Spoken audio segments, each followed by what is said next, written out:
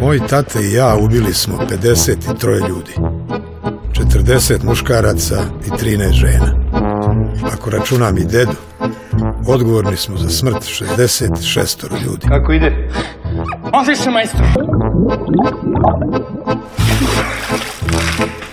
Ako ti voz izleti iz šina i sleti s mosta u reku, šta ćeš da radiš? Pokušat ću ja spasim putnik. Kad bi me jednom poljubio, ja bi se bacila po taj simin voz. Da ga spasim. Beži s pruge, mali.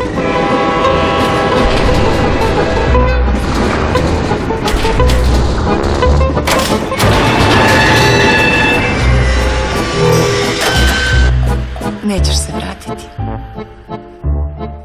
Ma jednom ću se vratiti. I ti si se vratila.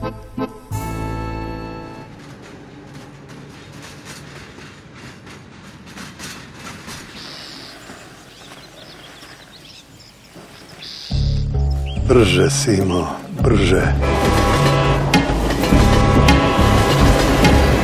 Ne mogu više ovako. Pile, kokošku. Neću pile, hoću starca. Hoću da zgazim starca na samrti. Moram nekog da zgazim.